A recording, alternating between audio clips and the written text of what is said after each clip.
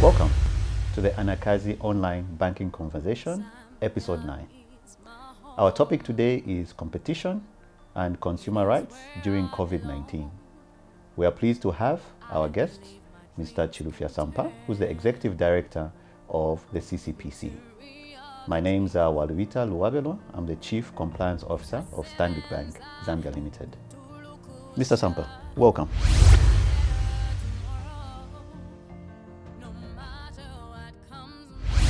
Mr. Sampa, welcome. Thank you very much, and thank you for having me. It's always a pleasure to have you. Now, Mr. Sampa, as uh, we've uh, already explained to the viewers, you are the head of the CCPC. Tell us a little about the commission, when it was established, and uh, what is its role? Okay, the CCPC, uh, which is the acronym for Competition and uh, Consumer Protection Commission, uh, was established in 1997 uh, this is uh, after an act of parliament was passed in 1994. Uh, it was called the Competition and Fair Trading Act. That was the first act. That established the CCPC. Uh, later on in 2010, uh, it was changed to Competition and Consumer Protection uh, Act, and that's what created the, the, the CCPC. So what is its role? Its role really is to regulate markets. Um, if you go back in history, you'll see, uh, you'll notice that um, we had a command economy before the uh, 1991 elections when we came in with a free market economy. The command economy did not require an institution such as ours because the economy was basically held in the hands of government. But um, when we moved to a private sector led economy, you needed to have a regulator that would ensure that um, uh, the private sector do not take advantage uh, of, um, of, of, of, of, of, the consumers or even of the regulations. And, and, and, that, and as a result, what you have is a CCPC which is there to regulate competition and also to, to ensure that consumers are protected from traders. Very informative.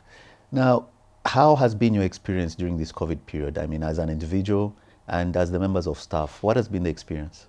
The experience uh, has been quite different mm -hmm. in that um, personally, uh, I have been working throughout. Is it? That is uh, because immediately you have a, an emergency such as the COVID 19. What, what you see is that some traders, unscrupulous traders, want to take advantage of the situation.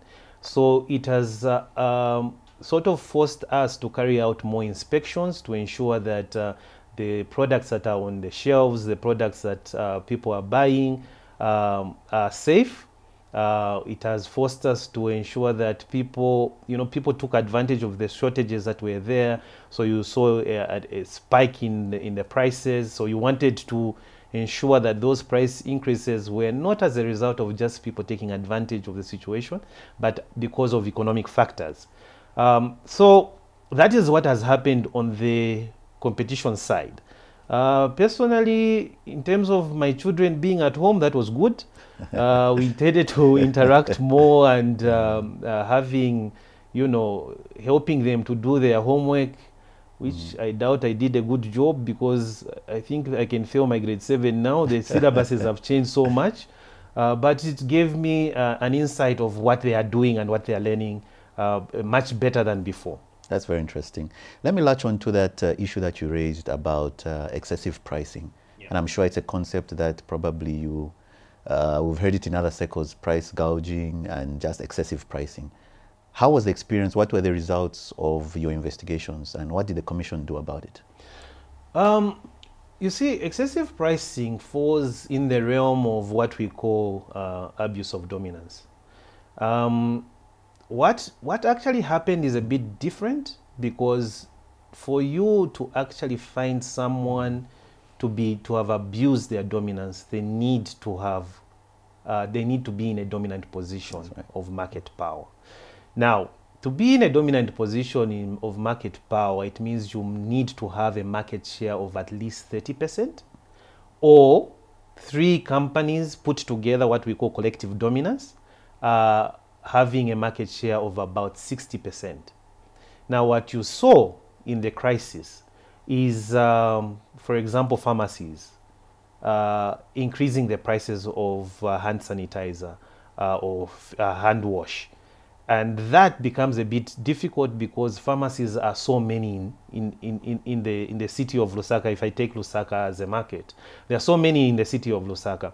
So it becomes a bit difficult to actually say this is abuse of dominance because um, the way abuse of dominance works is that when you are in a dominant position and you are able to exercise what we call market power, you can act independent of your customers, your competitors, and anyone else, even your stakeholders. And um, and the only way you can sort of deal with that in competition is to have other competing uh, companies. But in this case, there are so many, and they all have little market shares. So we then realized that actually our act wasn't well equipped to deal with this crisis in terms of that uh, price gouge. So what we did was to engage with our ministry, the Ministry of Commerce, Trade and Industry, and we suggested some uh, changes to our legislation and not just our legislation, but even on the Sale of Goods Act, there is a provision where you can maybe pass an SI, uh, which would have then allowed us to uh, uh, deal with, with the case. Uh, fortunately enough, um, before we did, we did send out warnings, uh, warning letters and, and, and in the press as well, but uh, we have seen that things seem to have come to, to, to, to normal. Interesting. Um, others would have argued to say, couldn't you have used general powers, for instance, under collusion or cartel behavior away from dominance to deal with such a situation? Well, because you say you see, because then the the issue would have been excessive pricing. Excessive pricing falls under the provisions of abuse of dominance, so that could not have been the case. When we go to catalytic behavior. Um, then now we needed to prove because catalytic be, uh, behavior is criminalized. And because it is criminalized, then we need to prove beyond reasonable doubt. And you know that is a very high standard. Um, it would have been difficult for us to actually prove that these pharmacies had agreed. Uh, let me just put it that this is a crisis. It, has, it is unprecedented. It has never happened before. Uh, competition authorities uh, all over were grappling to, to deal with it. Those that did, did uh, I know like the Kenyan authority uh, dealt with uh, something like that. I think the South African authority dealt with that. But those were relying on their legislation, which already provided for such things.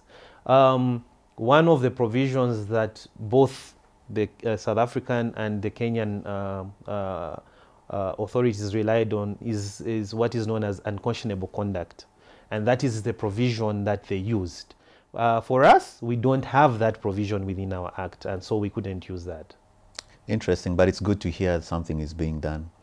We also noticed you released some uh, guidance notes on phishing, online uh, services to clients during this COVID-19 period. Please shed more light uh, on that issue. Yes, so so you see, the, the way COVID affected the consumers uh, was that um, with the lockdown, not not many people were. There was this discouraged.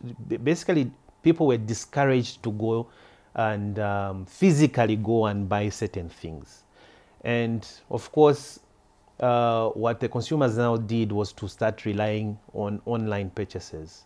We saw that. We saw the, an, an increase of people actually going online and trying to use the um, uh, virtual and, and online purchases and, and dealing more with uh, the internet. And what we started seeing now was that people started taking advantage of the fact that a lot of more a lot more people were using the online services, and um, uh, and and then people would come up with scams uh, to defraud consumers. Um, you know, COVID-19 emergency fund, so to speak. Uh, if you do ABCD, uh, you send us our bank details, we'll send you some money.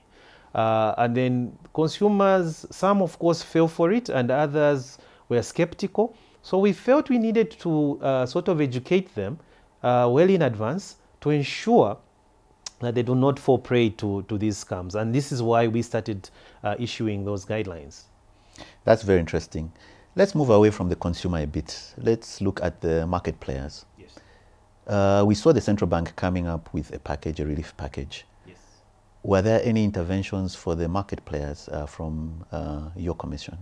From the commission side, uh, we realized that a lot of businesses uh, lost uh, cash flow income because uh, with the president's measures and the Ministry of Health measures, we saw, especially in the tourism sector, uh, a lot of cancellations, uh, weddings, um, kitchen parties were cancelled, um, uh, workshops were cancelled. Uh, you are a lawyer. LAZ was supposed to have had its uh, annual general meeting, I think. Uh, that was cancelled. The accountants, the, that was cancelled. So a lot of these events that would ordinarily take place were cancelled. So we knew that the businesses didn't have a lot of money because they were expecting these monies, but they did not uh, get the, the monies. So what we did is that if a business, what we, uh, if a business is, has violated the Competition Act in one way or the other, we were then amenable to say, okay, fine, um, you, you can pay in installments. We, we are giving them a moratorium uh, of uh, engaging with us and suggesting how they would pay over a period of time. Um, some would suggest three months, others would suggest more than three months, and so on, and would be alive to the fact that yes, businesses are not doing well at the, at the moment. Then also, when you look at the consumers and the way they're dealing with the traders, um, you've cancelled your, your, your wedding and you've paid a deposit at this uh, particular hotel or whatever it may be, events uh, manager or something like that. Uh, and of course, the consumer would want to get back the money as quickly as possible. So we would want to see a win-win situation because we know that the business is in uh, uh, dire stress. Their, their cash flow is not as good as it was because of all these bans and would, in, would engage, they will be arbiters and will try and engage and say, look, uh, they are not, it's not that they don't want to pay you, it's just that they are currently having um, uh, cash flow problems as a result of the COVID-19. So maybe you can give them a little bit more time for them to pay you back your money. Would you have instead wanted to issue specific COVID-19 relief guidelines, if there were none that were issued? Well, when we looked at our our act, we felt there was really no reason, uh, if apart from ensuring that the uh, traders' cash flow and taking that into consideration, um, we saw no, no real reason why we would give relief to catalytic behavior, for example, uh, which serves no one apart from the people in a cartel. Uh, we saw really no reason to give any guidelines in um, maybe abuse of dominance because this is something that somebody would have, it's almost predetermined. You know exactly what you want to do. So we really looked at our acts and said, okay, how is it that we can help um, the industry? And we found that the, the only way was either you use our current leniency program, uh, our settlement program, or the consent agreement. You can use those and, and, and as well as uh, deferring payment of fines that, that may be there. That's interesting. There is a particular area where we seem to have uh, noticed some relief given by the Commission on mergers and acquisitions. From your last statistics, we've seen you mention something like you had about about $38 million investment yes. from uh, mergers and acquisitions year, yes. 2019. Yeah. You reduced some fees in that area. Um, how, how has been the impact? No, no, not, not, not necessarily that we reduce the fees. Um, we were considering reducing the fees of merger notification. Uh, this is something that has been, uh, that has to change with a statutory instrument. Uh, the Ministry of Commerce, the Minister of Commerce, Trade and Industry has to uh, sign that statutory instrument. But it is a proposal. Uh, our, our intention is to ensure that when you're, when you're carrying out a, a measure, it should not be burdensome. Currently, I think Zambia's merger fees are, are the highest in the world. Uh, with a couple of 5 million kwacha, that is about um, maybe $250,000. Um, but before the kwacha had lost its value, it was close to half a million dollars. That was the cap. But now we are basically saying, why don't we uh, ensure that we reduce the cost of doing business uh, by reducing the merger notification fees? And uh, so there is a proposal that has gone to the Ministry of uh, Commerce, Trade and Industry. It has not taken effect yet. Yeah, so that's where we are. Now that is something I'm sure the industry will be waiting patiently for. Let me take you back a bit uh, to the complaints that you received. Um, your last reports show you received uh, north of about 2,000 complaints in 2019. Yes. Tell us some of the themes that usually come out from uh, consumers. Yes, you see, you see, with with the consumers, uh, what we have noticed is that there is a lot of um, Section 49 violations, and that is to do with um, unfit products or defective products. This is a lot of uh, electronic products, telephones, uh, refrigerators, and we have come up with uh, an understanding that that is because most of our Zambian standards are not mandatory standards.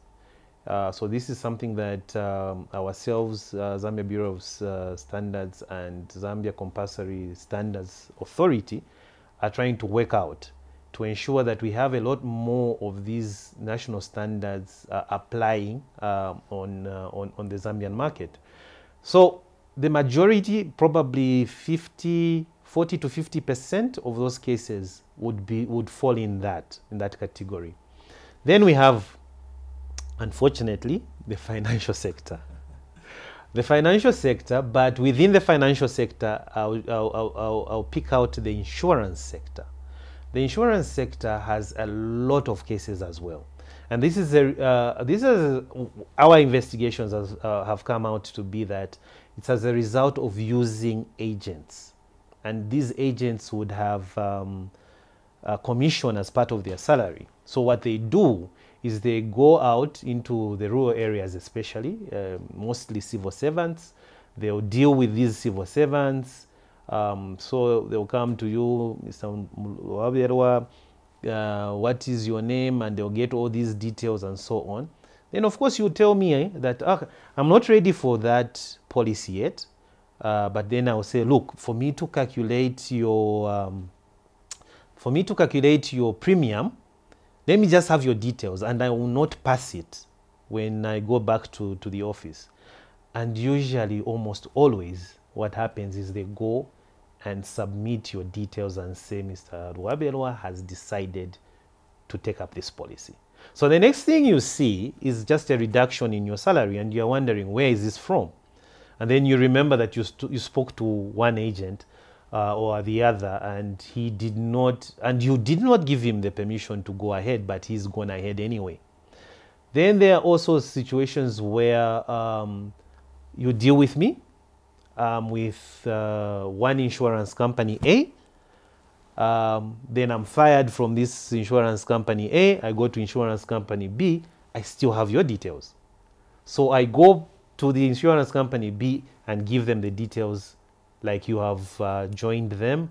So the next thing you see is a deduction on your on your on your payslip. So there are a lot of those insurance cases. Uh, uh, PIA I know is, is, is coming up with some guidelines on how these um, uh, agents will be dealt with.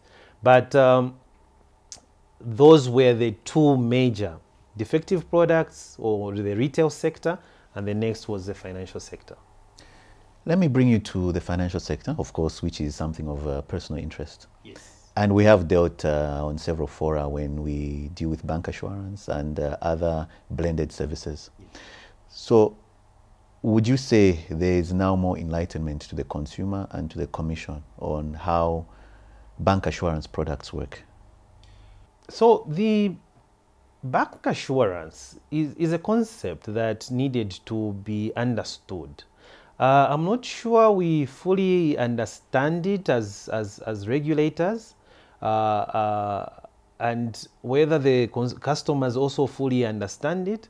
Uh, but um, uh, what we have is that we have a situation where banks now are having these um, in-house kind of uh, brokers and and there's this Chinese wall uh, and and it's it's that Chinese wall that brings problems. And I think uh, if it is porous then it becomes problematic. If it is not and we ensure that the Chinese wall actually does stand then uh, on the commission side we see that that is not a problem at all. But it was that understanding to try and uh, ensure that what is happening on this side is not necessarily influencing that a customer will cross to the other side. Uh, and, and I think uh, our interactions, uh, especially with, uh, with your bank, uh, where that uh, you, you, you provided that, that, that assurance. And we were good with that. But it is going to be on a case by case basis because we would not necessarily say just because Stan, Stanbic has done this, that would be true for other banks. Yeah. And maybe just some comments um, from a banking perspective. Some of the issues and complaints that have come is there is a perception that you are a little harder on uh, players that may uh, fulfill that dominance position. There is more regulation for the bigger banks, mm -hmm. which is a bit unfair for the smaller banks. The other complaint that has come out is the differences in how different regulators perceive issues. In short, are there proper handshakes uh, amongst the regulators, which then speaks into the issue of the cost of doing business that you talked about. Yes. Uh, these are consistent concerns that come from, from the industry and from the banking industry. I don't know if you have any comments around that. Yes, I do. And, and, and remember, uh, we were coming from a command economy. Um, a lot of these regulators that you see, ex except the Bank of Zambia, of course, which, were, which has been there since in time immemorial, but a lot of other regulators that you see only came in in the period 1990, 19, maybe 2000 in the new millennium. Uh, some are even being made now, all right? So uh, everyone is trying to find their feet. Uh, the commission is now just slightly over 20 years old. Uh, for the first 10 years, a lot of people didn't even know what the commission was doing, but a lot of what it was doing was advocacy work, trying to get to know uh, what the other people are doing and trying to pick out what the competition issues are, trying to pick out what the con consumer protection issues are in each and every sector. So our, our um, strategy has been to let's, let's try and uh, formalize our relationships with all the other regulators, which, we, which is what we've done. With, I think we have close to nine uh, memorandum of understanding and that is to first understand uh, what is happening in a particular industry. And as you understand what is happening in a particular industry, then you also raise your concerns. Because some of the concerns um, that a regulator may not be looking at the way we would look at it. So handshakes are there. It will take a bit of time to ensure that we all are on the same platform and on the same level so that we reduce the cost of doing business. But when you consider competition and when you consider a company that we consider to be dominant, uh, our law requires that this dominant uh, person or this dominant enterprise has a special responsibility not to uh, engage in anti-competitive behavior. And because of that, we tend to have, yes, an extra eye on that person with that dominance because it's very easy for that person to exclude other companies that may want to enter into industry and also it is very easy for that person to exploit consumers. Okay, and and and some of the things that happen, um, pay TV, for example, if it went up by twenty dollars, what would you do? Wouldn't you pay? Would call the call center, Jen. Definitely. you would pay, most likely. You, you see what I'm trying to say. Uh, and, and, and that's because they occupy a certain level of um, uh, dominance and market power that whatever they do, it's very easy to exploit the customer. But I'm not saying they are. All I'm saying is that it becomes very easy, and that is what a dominant uh, firm does. So the bigger the bank, the bigger the enterprise, the more scrutiny you're likely to, to have. I think there's a saying in, uh, in the, there's a saying from Eastern Province that uh, mutu wakakura sule wa nkonya. You see what I'm trying to say? So it's, it's the bigger your head, any, anything that flies will hit your head. So it's something that uh, um, uh, dominant firms ought to know. But that's not to mean that us as regulators are not uh, uh, cognizant of the fact that we would want to ensure we reduce the cost of doing business. No, I'm sure I will keep on engaging, uh, but thank you for that clarification. Maybe just to quickly just raise two last issues. Um, the first one is we're on an Anakazi banking uh, online conversation. Yes. Let's speak to the, the women. women as a special consumer group Yes. what are the issues that come out uh, to you as a commission? Because as a bank, we are very strong on that. We have got specific products and we drive a strong theme around that. But from a commission perspective, what usually comes through? What usually comes through is that uh, we've noticed that when we go into the rural areas, it is the women folk that actually uh, the ones that uh, hold together the family, want to, uh, uh, so to speak, and at the same time, they're the ones that probably generate uh, incomes within those, those, those families. And um, we've been going out as a commission uh, under the RUFEP, uh, Rural Finance Expansion Program, trying to raise that awareness that women folk should be uh, onboarded onto the you know, not just banking, but financial services. Uh, uh, and, and, that would mean even mobile money, uh, banking, and so on and so forth. We, we just want to ensure that a lot more have access to, to this. You talked about the Bank of Zambia relief. And I think uh, just recently the president was also talking about the 30 million to, uh, for the youth.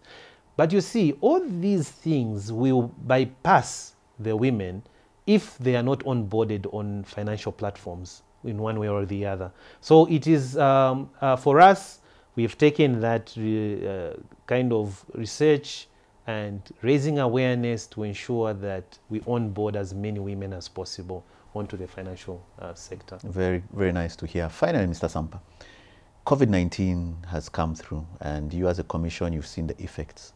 Where do you see the future of competition and consumer protection after COVID-19? The future uh, of competition, we have not seen a reduction in the number of mergers, um, even though we went through this period of slowdown and so on. Currently, we are sitting on about uh, the first quarter, about 30 mergers. Um, so we see that probably that will continue it will not really affect that. Uh, but I think when it comes to the consumer protection side, uh, we I, I, think we'll see a lot more uh, instances of expired products. You know, people are now a bit sensitive on what they want to buy, buying the just essentials, uh, food stuff and so on. They are not buying the other things that you would ordinarily buy. And uh, we are seeing a lot more expired products that are on the shelves. Uh, uh, and so which means we have to work extra hard to ensure that those expired products are removed from the shelves and people are not exposed to them. So we, we see um, a rebound though uh, by, by, by 2021. I think at that time we would have gotten used to the new normal and um, uh, probably we see the, the, the economy again expanding. Mr. Sampa, thank you very much for making time. Uh, we are grateful for your clarifications, and this conversation, I'm sure, has benefited the viewers out there. And we will be calling on you uh, surely. Thank you very much, and uh, uh have a good day. Thank you. This has been Anakazi Banking Online Conversation, Episode 9. We hosted Mr. Chilufya Sampa, the Executive Director of the Competition and Consumer Protection Commission. Please look out for Episode 10 and thank you for making time.